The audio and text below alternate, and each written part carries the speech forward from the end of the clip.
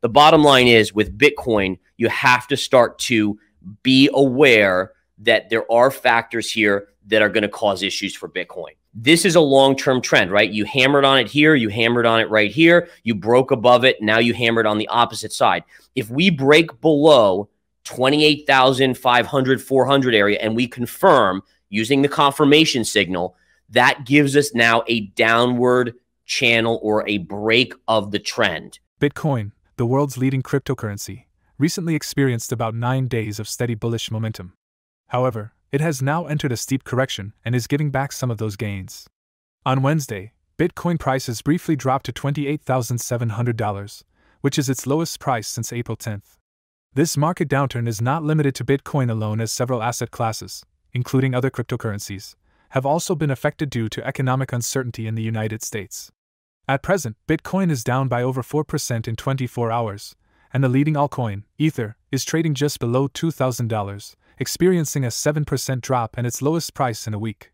In a recent episode of his weekly game plan broadcast, popular technical analyst Gareth Soloway gave a detailed analysis of Bitcoin's latest price movements. Despite some analysts believing that Bitcoin is entering a new bull cycle, Soloway still has reservations about the possibility of any significant rally in the short term. He cites extreme economic uncertainties and a plethora of unresolved regulatory issues as reasons for his stance on the leading crypto asset and other cryptocurrencies. Soloway gives some important levels investors can watch for within the next weeks. He believes this period is most critical for Bitcoin and, by extension, the overall digital assets industry.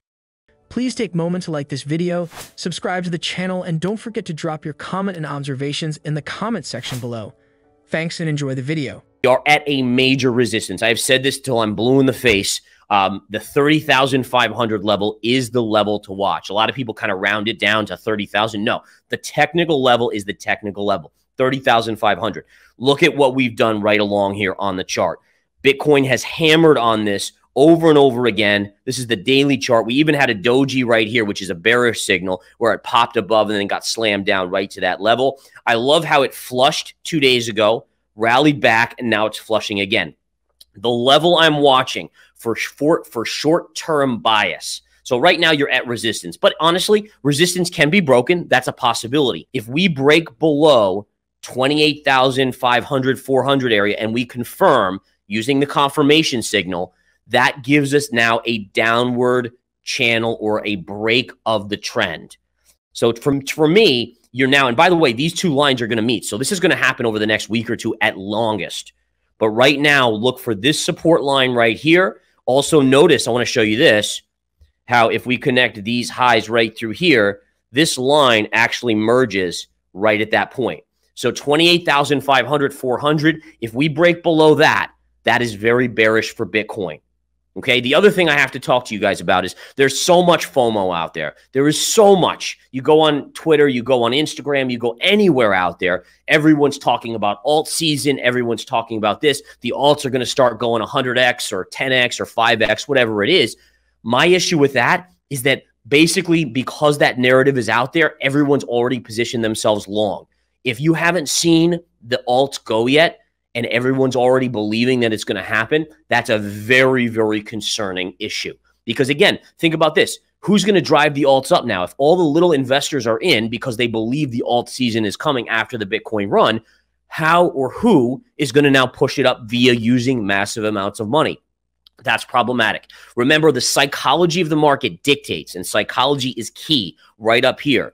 And hey, listen, we can go to, I mean, heck, let's go to some charts out there. Um, one of the ones, by the way, Matic. I mean, look at this. I mean, this is not a good chart here at all. But Matic, again, guys, right on that support line, you're not seeing the price action to me that denotes an alt season rally. All right. You're not seeing it. And also keep in mind, this is the first bear market where the Fed, I mean, this is what drives me nuts. Everyone's so regimented. I still remember when I was calling the high at 69,000 with the drop to 20,000. Um, everyone was telling me, "Oh, you don't know what you're talking about." You know, the the on-chain analysis shows we're going to 100,000 X, Y, and Z. You know, and I'm like, dude, the charts are the charts. Psychology is psychology. It's worked for hundreds, if not thousands, of years. But somehow you're going to come in here and say that, oh, some new metric you know, on chain analysis is going to play out. To me, on chain analysis is the same as fundamental analysis. Fundamental analysis long term makes sense in the short term, it has nothing to do with greed and fear. Greed and fear drive the markets. That's just a simple explanation, and it's absolutely true. So when you have this scenario, guys, where you have greed and fear, guess what? Fear is going to trump fundamentals on chain analysis every time. In a recent broadcast, Soloway emphasized that the $30,500 level is a historically crucial psychological level for Bitcoin investors. He stated that for Bitcoin prices to indicate a new bull market, they would need to break above that level and remain there for several days. However, since that did not happen, Soloway anticipates a reversal that could take Bitcoin prices below another critical level.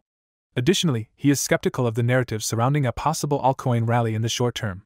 In the broadcast, Soloway provides further details on his Bitcoin and crypto outlook, as well as his perspective on the overall U.S. economy. Now, at a point, and I've said this before number one, we're in a cycle where the Fed is not printing money. That's very, very tricky for Bitcoin. Doesn't mean Bitcoin's not going to break out here, but it makes it harder. So to think that we're going to get the same four year cycle when Bitcoin is not being propelled by massive inflows of money from the Federal Reserve, from the US government, et cetera, that's problematic. In addition, every which way, I'm seeing Gary Gensler and the SEC suing this person or this company or that company. There's a lot of issues here. Big money is not going to commit. So again, I bring my, bring my point back to saying, well, who is going to drive the alt season if all the small investors are banking on it, thus in? And the answer is well, big money's not coming to the rescue because they're not willing to commit capital in major amounts because there's no clarity, there's no structure, there's no rules in the crypto markets yet. I mean, literally, Coinbase yesterday said that they were thinking about moving out of the US because they have no clarity. And this is a publicly traded company. So, anyways, my point is this, guys be careful here again in the crypto markets. I have seen it before and I've seen it again. The bullishness in Bitcoin and crypto right now is equal to the bullishness we saw at 69,000.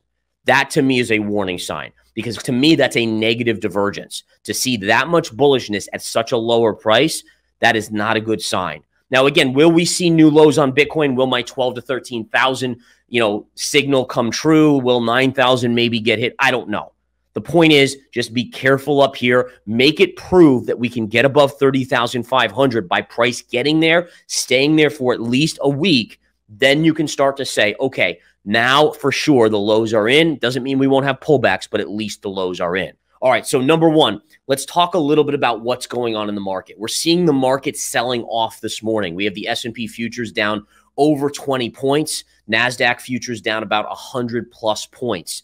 The kicker here is partly earnings, right? We got some earnings out of Netflix. We're going to discuss that in just a minute. But overall, really, what's going on here is more than anything, you have some Fed commentary that is starting to spook the market a little bit. For instance, I believe there was one Fed, I don't know if it was Bullard, but he basically came out and said he doesn't see a recession and the Fed has to stay the course and continue to raise interest rates. Now, the issue with that is that we just heard last week from the Federal Reserve that we were going to have a mild recession. So there's this dichotomy, there's this divergence building within the Fed where some people are still saying, hey, listen, mild recession, but we're going to still raise interest rates. That's freaking the market out because the market is smarter. You look at the 10 year yield, it's all the way down. All right. You don't have the 10 year yield trading where the Fed funds rate is trading at 5%. You have it into the 3% range because the markets are anticipating that essentially we're going to have a recession. If the Fed is saying we need, we're going to have a mild recession.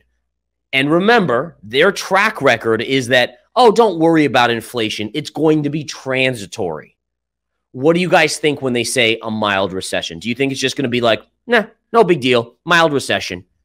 Personally, I'd be a little bit more nervous.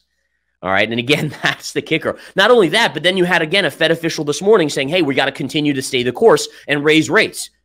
So at what point does a mild recession, which probably already means that they're telling you it's mild, but they know it's going to be worse, if they keep raising rates, what happens next? A mild recession turns into them telling you it's going to be a mid level recession, and then it actually is going to be a much worse recession. And then you go, by the way, there are stocks out there, Apple, Microsoft, trading at valuations that they're almost at all time highs. They're trading at forward PEs where they were a year or two ago when we had the bull market.